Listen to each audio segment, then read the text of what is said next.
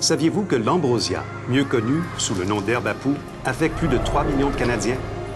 Son pollen déclenche une réaction allergique qui affecte le système respiratoire. Il est le principal responsable de la rhinite et de l'asthme. 2,4 millions d'individus souffrent d'asthme et toutes les semaines, 9 personnes en décèdent. Alors qu'attendons-nous pour l'éliminer? Pour en savoir davantage sur l'ambrosia, communiquez avec l'Association pulmonaire au 1-888-566-5864.